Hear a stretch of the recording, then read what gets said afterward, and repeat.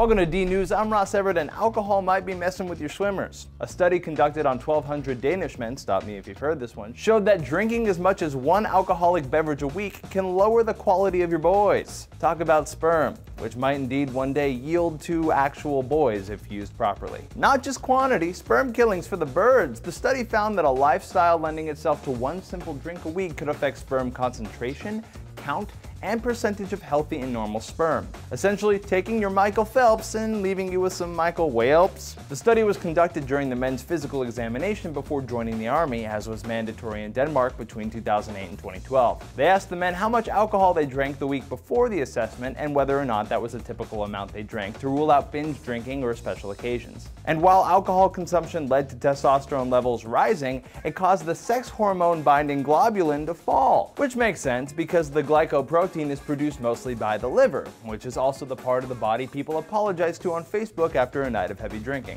Of course, the heavier drinkers who consume more than 5 drinks a week saw the greatest change in their little Olympians, lowering their sperm count by 33% and their normal looking sperm by 51%. But even those who only slurped down one drink a week showed a slight decrease. Keep in mind this was just an observational study, so other possible factors, including lifestyle choices of those who tend to drink more, weren't taken into account. But similar animal studies suggest that alcohol does have a direct impact on sperm quality. What do you guys think? Is this a public health concern or could this just be a nice way to control the population with a buzz?